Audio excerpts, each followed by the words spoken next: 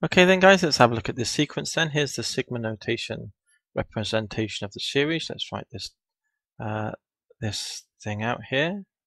So if it exists as infinity, let's just write it as such. r is 1, you'd have x. Then you put r as 2 and you'd have 2, uh, so that would be x squared. And it's the sum of these terms, isn't it? So it would be x cubed plus dot dot dot. And this is a, a GP, isn't it? With first term a equal to x and common ratio, well, you're timesing by x as well, aren't you? So here, for the sequence to converge, r, which is the value x, the modulus of r, which is the modulus of x, must be less than 1 for s infinity uh, to exist. Okay, good.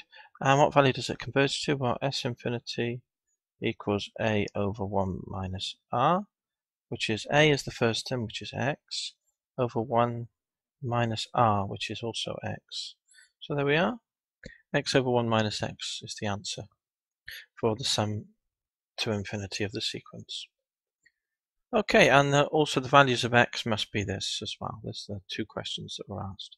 Good.